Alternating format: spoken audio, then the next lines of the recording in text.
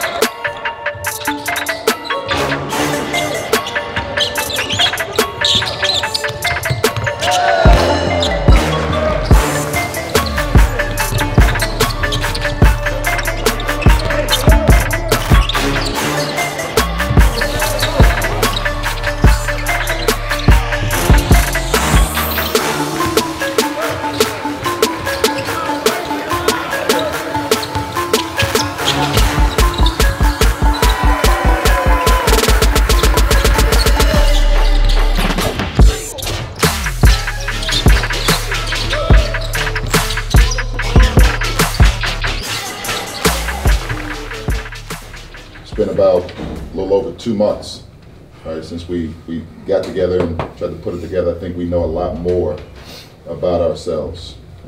Individual, we had a lot of new faces to join the group and getting acclimated.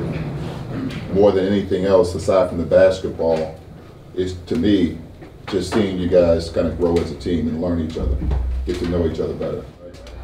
I, I like what I see. I like what I see. I like the, I like the work ethic that this team has demonstrated that we have. You guys aren't afraid to work. You're willing to put the work in. So let's keep doing that.